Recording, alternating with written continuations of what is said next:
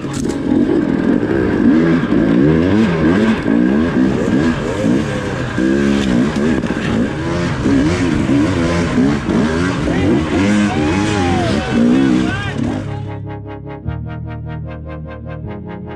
up guys, Travis here with Every Single Sunday and today we are here to talk about pipes. Um, basically the whole pipe thing on dirt bikes is super important on the two-stroke, how they perform, how they run, the torque, the high end, and uh, basically how a pipe's built is really going to determine what your bike does out there. Um, but one of the big problems we have running the hard enduro stuff we ride or enduro, whatever you want to call it, is I suck at dirt bikes.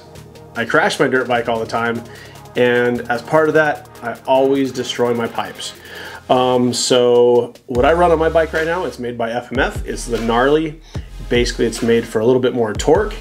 It's made out of a thicker gauge aluminum, or sorry, it's made out of a thicker gauge steel, so that it lasts a little bit longer than a factory pipe. But it still has its issues. It's not my favorite thing out there, but it's the best one I found. So there's a new company coming out. Um, I don't know if you've seen them on Instagram, Facebook. Uh, they're kind of popping up around the November, December time last year. And this new company, they're called Mountain High Pipes, and they've kind of redesigned the two-stroke pipe. Uh, it looks similar.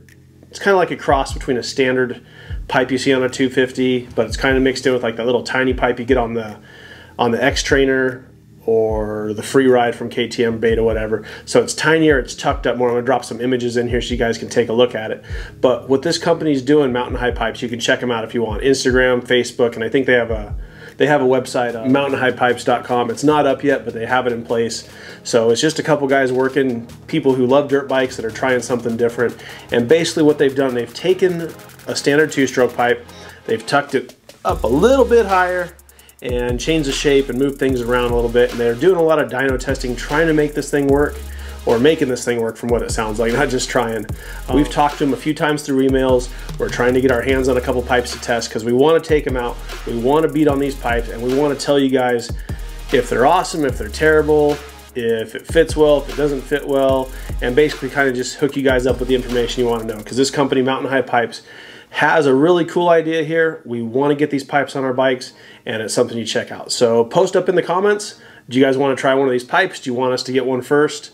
Um, do you like the idea of what they're doing here? Or are you kind of uh, shying away from it because you're like a standard guy? You want the FMF Pro Circuit, SRT, whatever pipe you run on your bike and you're just going to stick with that. But me right now, I'm uh, pretty excited about these uh, Mountain High pipes. So hop on their Instagram, give them a follow, check them out on Facebook if you want. It seems like their Instagram is the most up to date. And like I said, they'll have their website up and running here shortly.